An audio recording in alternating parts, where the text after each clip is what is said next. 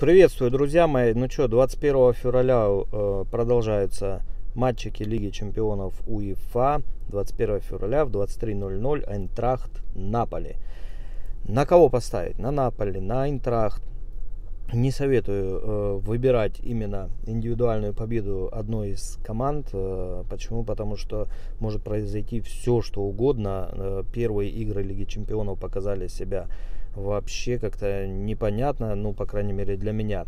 Может быть, кто-то... У меня вообще ничего не прошло, честно скажу, в первые игры, вот, которые были на Лигу Чемпионов. Там просто как-то сыграли э, вплоть до наоборот, э, моим представлениям. А, но в этой игре я уверен на 90% и жду я голы от Айнтрахта. Индивидуальный тотал зашел я на Айнтрахт 0,5-1 больше. На 0,5 больше от Айнтрахта дают на данный момент Сегодня 20 число, я записываю видео, дают 1.43 э, на индивидуальный тотал Айнтрахта, больше 1, 1.7. Вот такой прогноз. Став, не забывай подписываться на нашу телегу. Ссылочка в описании профиля.